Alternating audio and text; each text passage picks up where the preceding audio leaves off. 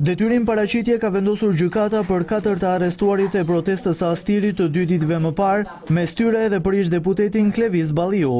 Gjyqtarja Rexhina Merlika ka hedhur poshtë kërkesën e organit të akuzës që kërkoi masën e sigurisë arrest shtëpie për Balliun Dhe arrest me burg për Lulzim Marçinajn, Seit Hajderajn dhe Elton Skënderin. Ata akuzoheshin nga prokuroria për kryerjen e gjashtë veprave penale. Sipas prokurorit Gjergji Trakos, ish-deputeti Balliu akuzohej se gjatë shoqërimit i ka thyer krahun një punonjësi policie, por kjo u kundërshtua nga avokati i tij Genc Gjokutaj. Vetë Balliu gjatë seancës e ka cilësuar si një proces të montuar politikisht gjyqin ndaj tij. Janë disa akuza të turpshme dhe thjesht kërkesa që është për arrest shtëpie sepse kanë frikën e datës njëmbëdhjetë maj dhe kërkojnë që të rrimë brenda mos jemi më njëmbëdhjetë maj protestë.